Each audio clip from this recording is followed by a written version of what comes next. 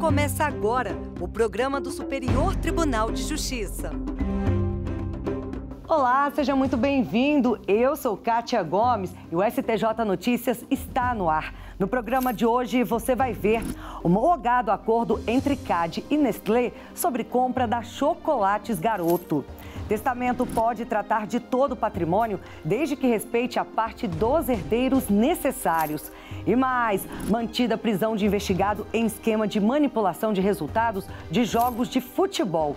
O STJ Notícias começa agora.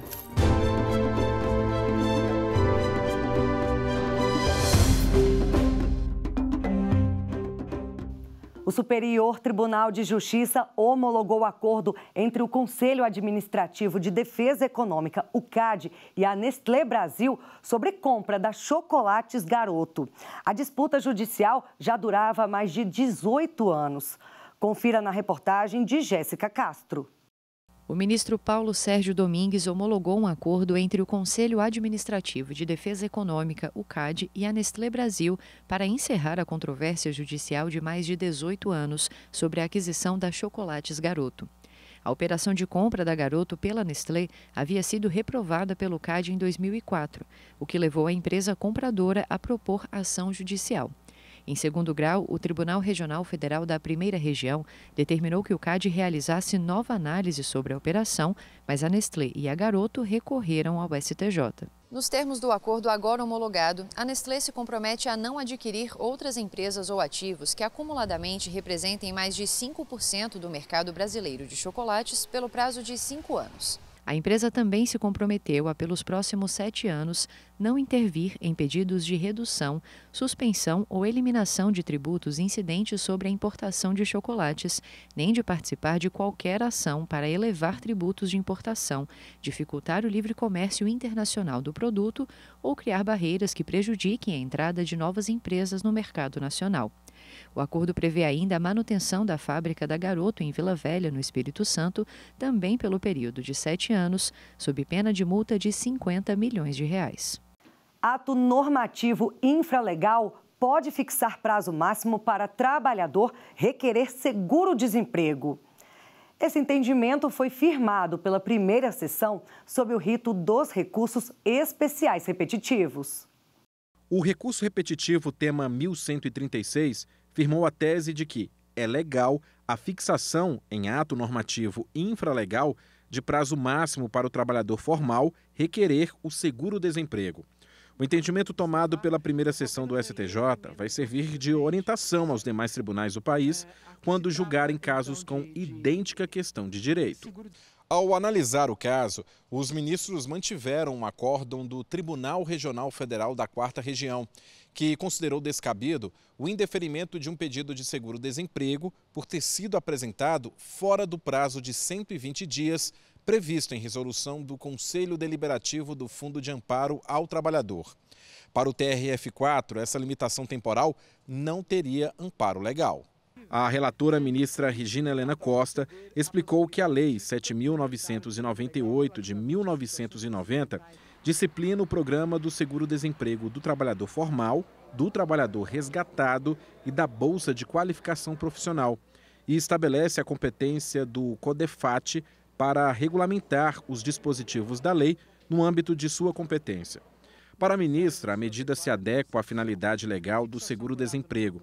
Destacou ainda que a prescrição de prazo máximo para se requerer a habilitação ao benefício permite à administração otimizar o gerenciamento e a alocação dos recursos para o custeio da despesa.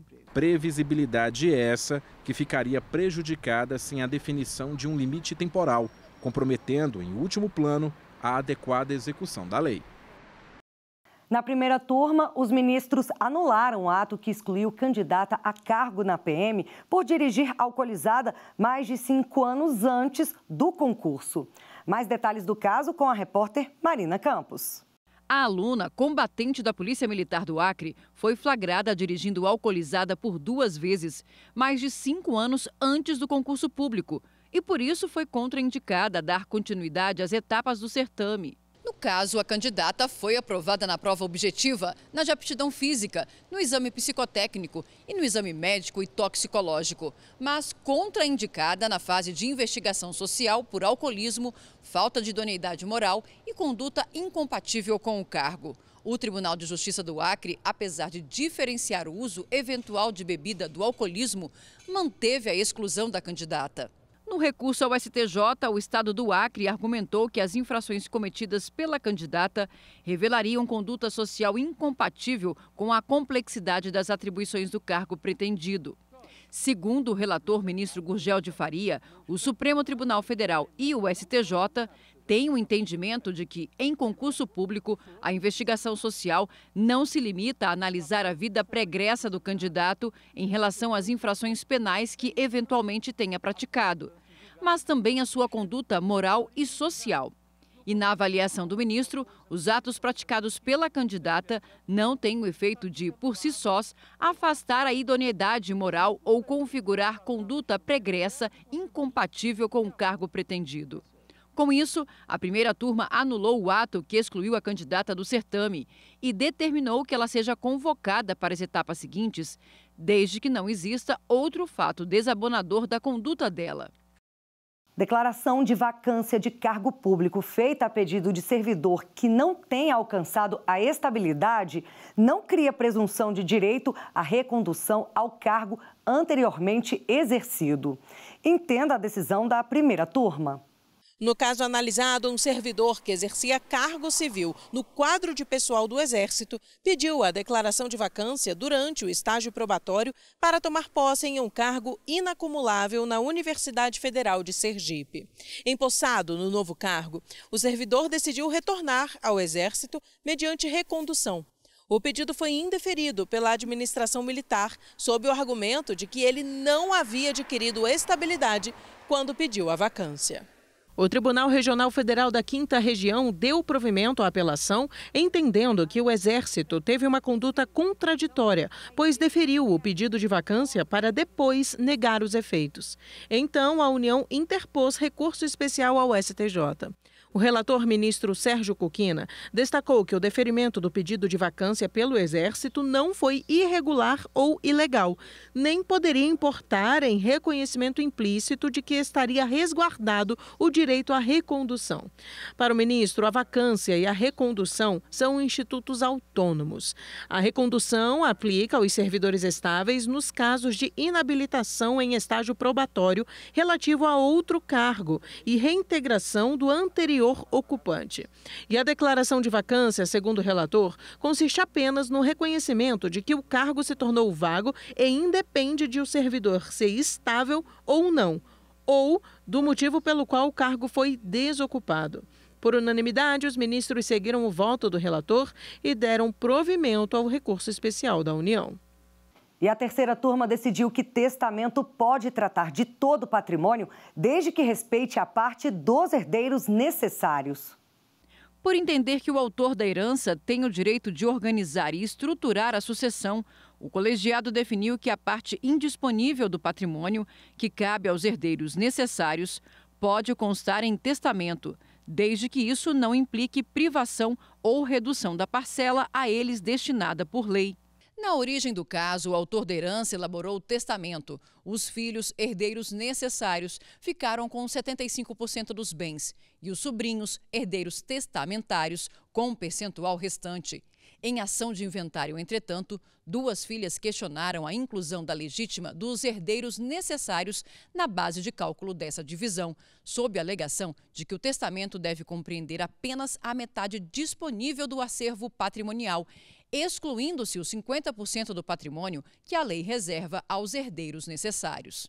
O Tribunal de Justiça de São Paulo acolheu o pedido. O espólio, representado pela inventariante, o outro filho e os sobrinhos, interpuseram recurso especial contra a decisão do TJ, apontando, entre outras coisas, ofensa à soberania da vontade do testador, No STJ, a relatora ministra Nancy Andrighi avaliou que, no entendimento da Corte Estadual, o testamento teria disciplinado apenas sobre a parcela disponível. No entanto, segundo ela, é possível concluir que o testador tratou da divisão de todo o seu patrimônio, como entender os recorrentes, e não apenas da parcela disponível. Mantida prisão preventiva de empresário investigado em esquema de manipulação de resultados de jogos de futebol.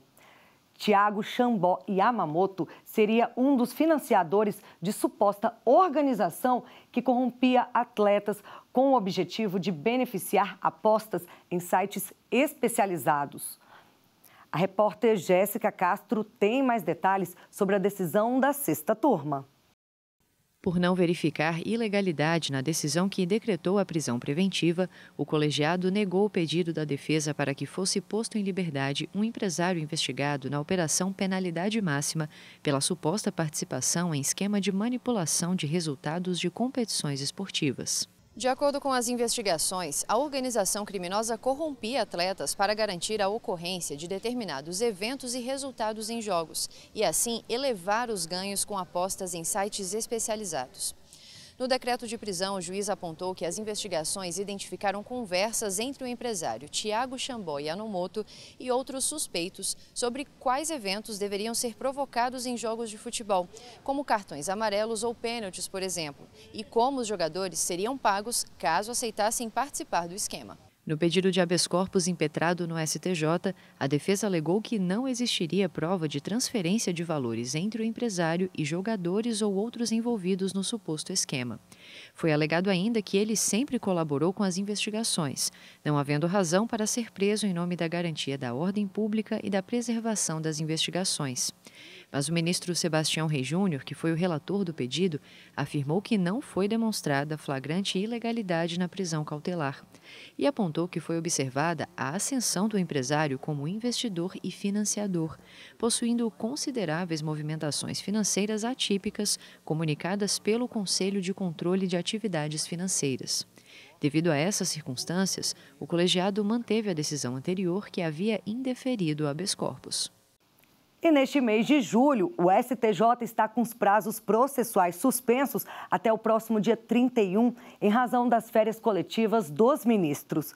No encerramento do primeiro semestre judiciário, a presidente do STJ, ministra Maria Tereza de Assis Moura, apresentou as principais estatísticas processuais do período em sessão na Corte Especial. Vamos conferir.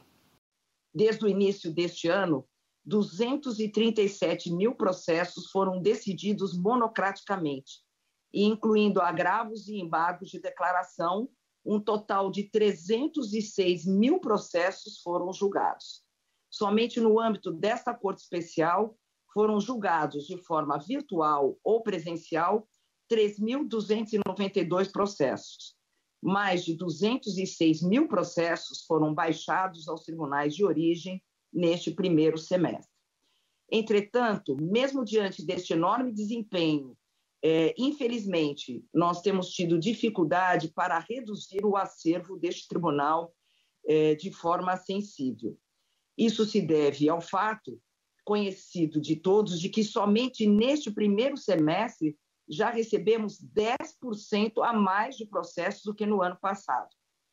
Se nós considerarmos que, historicamente, recebemos um volume ainda maior de casos no segundo período do ano, estamos nitidamente caminhando para atingir uma demanda recorde em 2023, estimada em torno de 450 mil processos. Atualmente, a alternativa mais plausível para alternar, alterarmos este cenário é, sem dúvida, a regulamentação e a implementação do filtro de relevância da questão federal. Trata-se de preservar a função principal desta Corte, que é a de estabelecer precedentes em matéria infraconstitucional federal. Dessa forma, nós precisamos urgentemente avançar neste tema que nos é tão caro. E para dar efetividade a esse novo regramento, eu conto não só com a colaboração de todos os colegas, mas também o, o debate que deve ser feito em torno deste tema, é, junto à OAB e junto ao Poder Legislativo. E antes de encerrar o programa, a gente deixa uma homenagem bem especial para aqueles que lutam por mais amor em suas diversas formas. É o STJ e todo o Poder Judiciário brasileiro engajados contra a discriminação baseada na orientação sexual e na identidade de gênero. Olá, gente. Estou aqui para agradecer a atuação do Judiciário nas lutas LGBTQIA, principalmente em momentos em que a legislação deixava brechas para negação de direitos, apesar da Constituição Federal preconizar a igualdade o Judiciário brasileiro foi fundamental para fazer valer a nossa Carta Magna e a nossa democracia tão duramente conquistada. Em 2011, o Judiciário reconheceu o casamento civil entre pessoas do mesmo sexo. O Judiciário tem feito papel fundamental para a garantia dos direitos constitucionais das pessoas LGBTQIA. Eu e Malu, por exemplo, só pudemos nos casar no civil em 2013, no final do ano. Mas agradecemos muito né, que nossos direitos foram reconhecidos. Nós temos também três filhas adotadas que foram beneficiadas pelas decisões. E é isso que a gente queria chamar a atenção hoje, no dia da rebelião de Stonewall. Né? Quanto é importante cuidado com as pessoas que sofrem sem seus direitos reconhecidos no país. E agradecer mais uma vez a atuação do Judiciário Brasileiro.